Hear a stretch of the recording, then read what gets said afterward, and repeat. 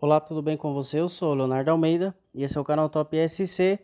E neste vídeo de hoje eu vou te ensinar como você vai mostrar a porcentagem de bateria no seu Samsung Galaxy A20, tá? É, em muitos aparelhos essa configuração é simplesmente encontrada em configurações de tela, né?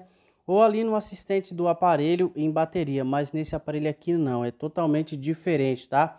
Antes de eu mostrar para você, eu convido você para se inscrever no canal e ativar o sininho de notificação e já deixa o seu like aí. O que, que você vai fazer? Abra o seu menu de aplicativos e clique aqui na engrenagem para você é, clicar aqui em configurações.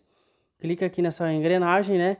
Como eu estava falando para vocês, em muitos aparelhos essa configuração está aqui em visor ou está aqui no assistente do aparelho nas configurações de bateria, mas nesse aparelho aqui é totalmente diferente, tá? Para você ativar aqui a porcentagem de bateria, você tem que vir aqui, ó, você arrasta aqui, volta lá no início, você vem aqui em notificações, aí você clica aqui em barra de status e aqui você vai apertar essa opção aqui, ó, exibir porcentagem da bateria. E agora vai aparecer a porcentagem de bateria do seu celular, tá? Muito simples e fácil. Eu espero que você tenha gostado desse vídeo. Não esquece de clicar em gostei, se inscreve no canal e ativa as notificações. E compartilhe esse vídeo com seus amigos nas redes sociais como Facebook, WhatsApp, Instagram e outras redes sociais aí, beleza? Valeu, um abraço e até a próxima.